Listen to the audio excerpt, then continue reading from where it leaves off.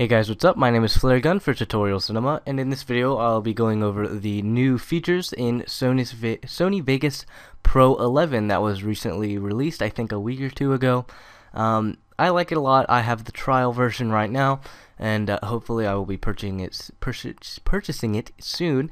And um, link to this page where you can download the trial um, is hopefully in the description, or just go to SonyCreativeSoftware.com and uh, you can find it there.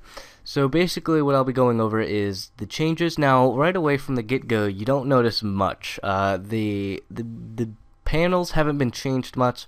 Um, it almost, it actually looks um, exactly similar except with a few button changes up here and stuff to uh, when you first open up Sony Vegas Pro 10. But, um, but there are some really cool changes that I will go over. So the first change I want to go over is um, in the transitions, video effects, and media generators. There's now folders um, that you can either have all or it will separate them into different kinds of transitions, video effects, or media generators. And also you can search for a plugin. Let's say let's say I wanted to get to clock wipe, but I didn't see it here, and I want to find it faster. So I could just type in clock wipe and there we go. I have that transition already waiting for me and uh, and stuff like that. And I still have um, everything that Sony Vegas had.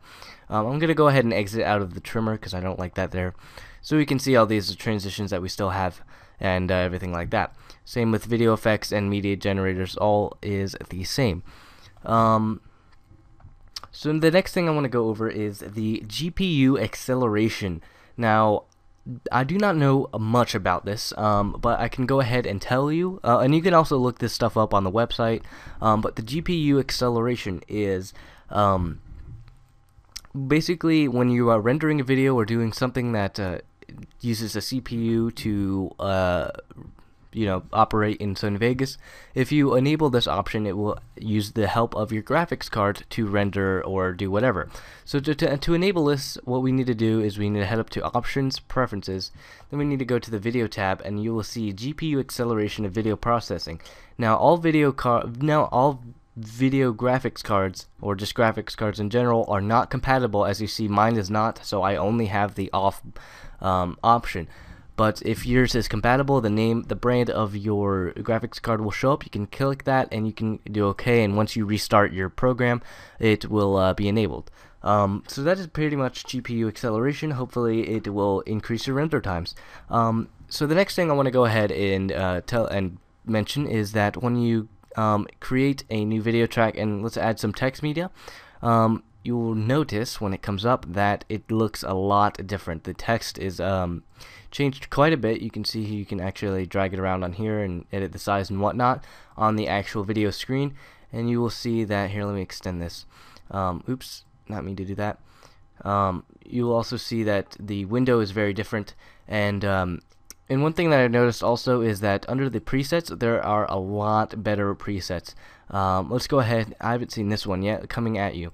So uh, let's let's go ahead and play that and see what it looks like.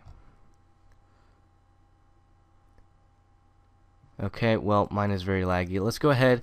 Let's go ahead and pre-render it. If you guys don't know how to pre-render it, it uh, kind of, well, I guess you could go ahead and call it pre-rendering. But we can see it in slow motion. Um, I guess it looks like it's uh, it's fading in here. Um, but my point is is that there are a lot better preset um, text animations and text uh, how it looks um, in Sony Vegas Pro 11. And also, you know, I'm going to go ahead and stop that. You guys can check that all out for yourself. Um, but the the uh, the customization um, has increased a lot. You can do so much more things, and uh, and the keyframing has uh, has also been upgraded. Um, when you want to keyframe something, just click the clock, and you will see that it produces a timeline um, of whatever whatever uh, detail or whatever it's called. Um, I can't get that. There we go. Um, so now you can see that uh, the text color is yellow, and you can, and it actually, it's actually yellow on the on the timeline too, which is pretty cool. And it has a separate keyframing thing, so you can change that individually as well. And if you just want to undo that, just click the clock again. So um, the text is a lot better in Sony Vegas 11. I like it very much. Um, haven't gotten to mess around with it too much. Um, but the next thing I want to do is actually let's go ahead and drop that text back in here. Um, so I can show you the next thing. Um, when we go up to file, we can now upload videos straight to YouTube from Sony Vegas. Um, I'm not going to do this option because as I as I can tell, um, the uh, the the video quality isn't as um like I can't edit the video quality. I know I do not know what that well, like how that works. Maybe whatever your render as is set to, it will do that automatically. I'm not sure.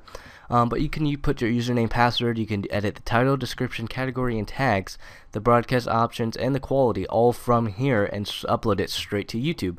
Um, so that is very very cool. I will probably use this feature once I learn more about it. Um, but that is also pretty pretty cool in Sony Vegas 11.